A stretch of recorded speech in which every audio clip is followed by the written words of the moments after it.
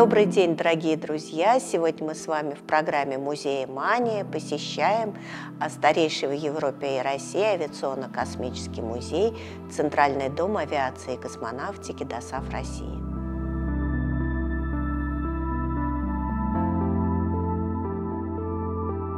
А мы с вами находимся в первом зале музея, который рассказывает об истории становления российской авиации и о первых самолетах. Вот такие уникальные самолеты у нас здесь представлены.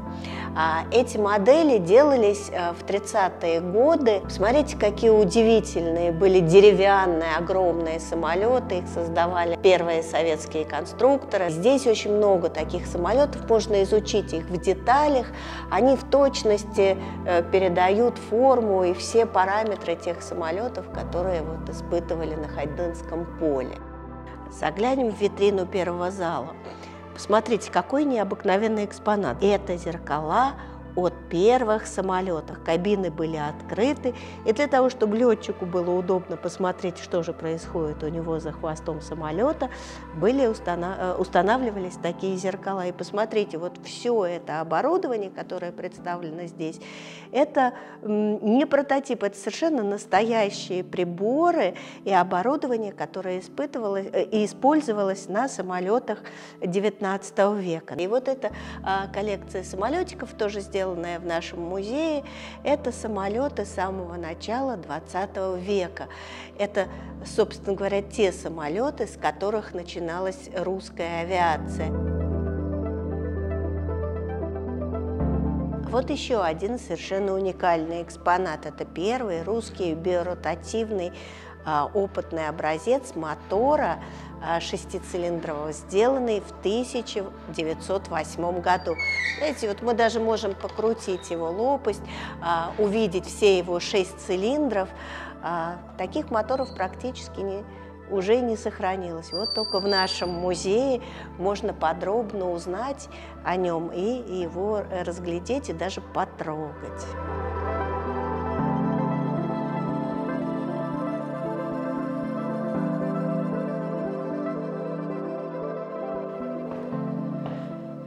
Мы с вами во втором зале, который рассказывает о развитии авиации до начала Великой Отечественной войны в нашей стране. А и главный экспонат, который здесь находится, это гигантская модель э, легендарного самолета Максим Горький или Ан-20. А этот самолет был сделан в 1933 году и по тому времени был самым большим самолетом в мире. Интересно, для чего же был создан этот самолет в молодом советском государстве. Его назначение – агитационный самолет – он должен был летать э, в отдаленные части Советского Союза, а, садиться на любой площадке, а, и жители деревень, сел, малых городов могли заходить в этот самолет. В нем был кинотеатр, в нем была типография, которая а, печатала всякие агитационные материалы. Такое романтическое время было, и, наверное, вот и самолет был построен для того, чтобы показать всему населению, как же прекрасно жить в Советском Союзе Союзе. К сожалению, а может быть это и символично, самолет этот э, постигла очень трагическая участь. Э, он не выполнил ни одного полета, которое предполагалось, и разбился он в э, 1935 году совсем недалеко от нашего музея, э, недалеко от метро «Сокол», нынешнего метро «Сокол», э, при показательном полете. А с самолета сопровождения велась киносъемка. А и в какой-то момент э, пилот этого маленького самолета, с которого велась киносъемка, не рассчитал траекторию движения и врезался в крыло Максима Горького. Оба самолета потеряли управление и потерпели аварию. Оба самолета упали на землю. К сожалению, э, все находившиеся люди в самолетах, это были и женщины, и дети, э, целые семьи членов экипажа и инженеров, разбились, все погибли. И на этом история Максима Горького закончилась.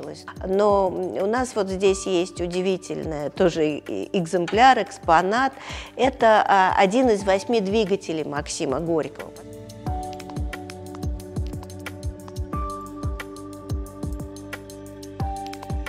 Мы с вами в зале, посвященной авиации времен Великой Отечественной войны.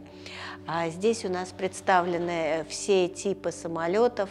А, это и бомбардировщики, и истребители, и разведчики, которые участвовали а, в боях с 1941 по 1945 год. Ну, знаете, истории наших легендарных летчиков, истребителей, которые бились э, в небе над Советским Союзом, а потом уже э, в небе над Германией. А мы с вами находимся в зале, который рассказывает о развитии авиации в послевоенное время, о развитии военной авиации. А в каждой витрине представлены а, самолеты в развитии, а, начиная с конца 40-х по 60-е годы, как то или иное конструкторское бюро, например, а, Лавочкина, Яковлева, Миги, Сухие, как они развивались. Очень интересно и подробно можно об этом узнать. А сейчас мы в зале, который рассказывает о развитии гражданской авиации, гражданской и транспортной авиации в Советском Союзе. А, подойду к своему любимому экспонату.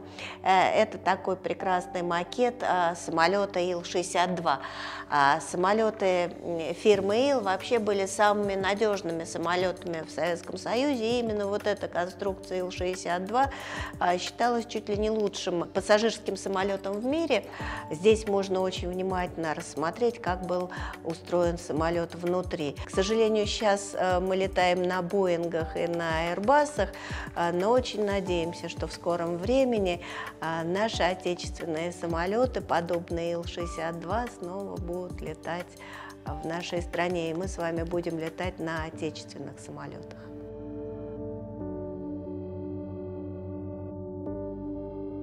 А мы в сердце нашего музея, в э, мемориальном кабинете первого космонавта планеты Юрия Алексеевича Гагарина.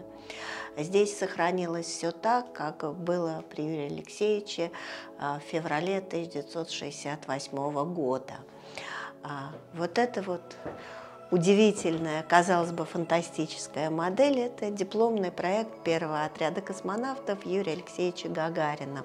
68 год, 1968 год. А, первый отряд космонавтов для своего диплома а, выбирают а, проект космического челнока. А, космического самолета многоразового использования. Казалось бы, еще а, даже мысли о таком дерзновенном проекте не может быть. Однако вот уже у нас здесь, недалеко совсем от нашего музея, 200 метров располагалась а, академия от нас, вот эти люди космоса уже думают о том, что можно будет делать возвращаемые аппараты. И мы знаем, что, конечно, эта мечта воплотится воплотится в жизни, полетят американские челноки, и потом наш замечательный Буран. Но это будет через 20 лет. Во дворе нашего музея стоит вот такой вот настоящий космический аппарат. А, это фотон, он вернулся а, из космоса. Посмотрите, весь в космических шрамах. Наши посетители любят обниматься с этим спускаемым аппаратом и как бы становятся причастным к этой космической истории замечательной.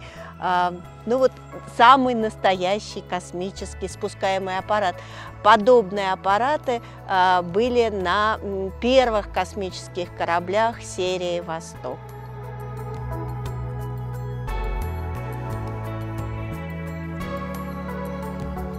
А, первыми покорителями космоса, как всем известно, были э, собаки, наши четвероногие друзья. А, прежде чем отправить собаку в космос, она а, проходила множество испытаний. А, и вот эта тренажерная кабина, самая настоящая тренажерная кабина, в которой тренировался первый космонавт планеты собака Лайка. А под потолком зала парит первый искусственный спутник Земли, запущенный в 1957 году, это не модель и не макет, это ресурсная копия этого спутника, а, то есть точно такой же спутник и был запущен. А это ресурсная копия второго искусственного спутника, он называется биологический, потому что именно в нем и полетела собака Лайка.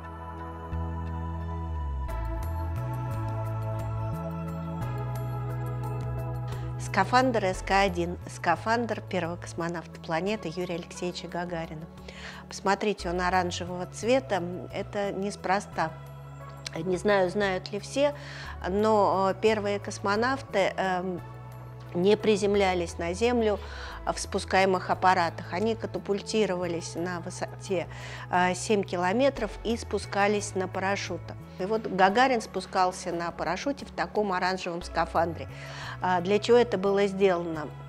Оранжевый цвет очень ярко выделяется на фоне неба и на фоне Земли. Для того, чтобы а, космонавта можно было быстрее найти, а, придумали вот э, сделать наружную оболочку скафандра такого цвета. А это аварийно-спасательный скафандр «Сокол К». Он был разработан после а, трагедии с экипажем космонавтов Добровольским, Пацаевым и Волковым. А, при спуске на Землю космонавты погибли при э, разгерметизации космического корабля. А, в то время полет и приземление космонавтов происходил без скафандра. И когда корабль разгерметизировался, к сожалению, космонавты погибли. А, специально был разработан такой спасательный скафандр а, с большим запасом кислорода. Э, также мы можем здесь увидеть, в какой позе космонавты находятся в космическом корабле. Видите, вот так вот к себе подтянуты ноги. Не очень удобная поза, однако многолетний и опыт космических полетов показал, что она оптимальная.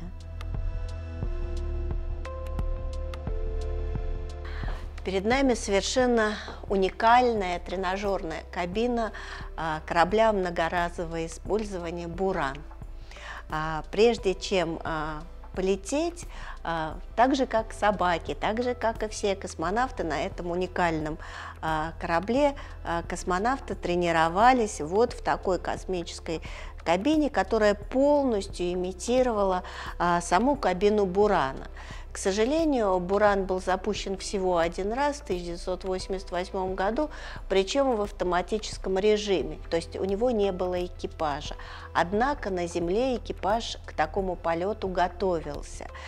Именно в этой тренажерной кабине и происходил а, весь тренировочный процесс экипажа, а, который был назначен для будущего полета Бурана с людьми. А командиром экипажа был назначен космонавт Игорь Волк. И весь его коллектив, который должен был лететь с ним, по его фамилии назвали «Волчьей стаей».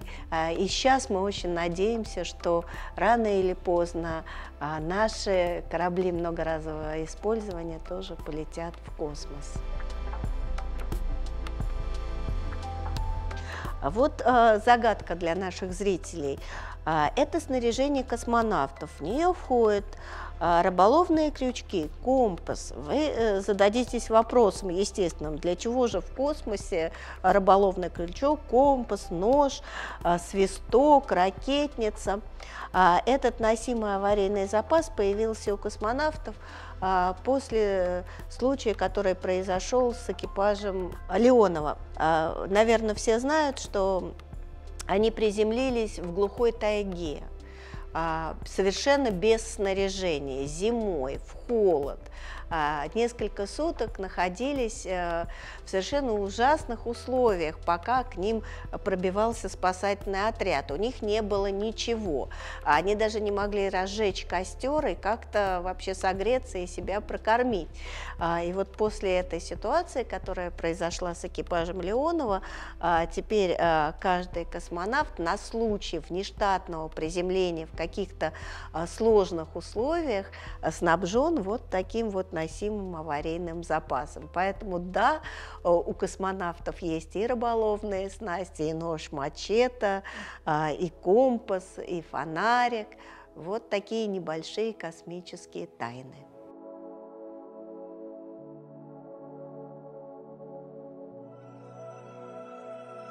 Дорогие друзья, мы сегодня в рамках программы «Музея Мания» побывали с вами а, в Центральном доме авиации и космонавтики ДОСАФ России.